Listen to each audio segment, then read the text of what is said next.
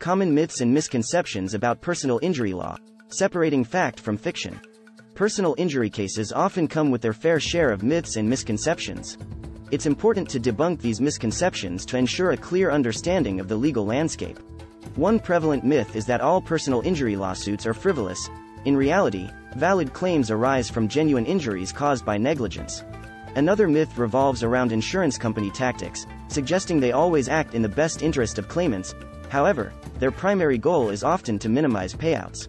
Compensation expectations can also be distorted, as each case is unique and influenced by various factors, such as the severity of the injury and available insurance coverage. Understanding the legal process in consulting with a qualified personal injury attorney can help dispel these myths and provide accurate information for those seeking rightful compensation. For more information and a free consultation, please call at 855 497 2326 or visit us online at www.adamthompsonlaw.com.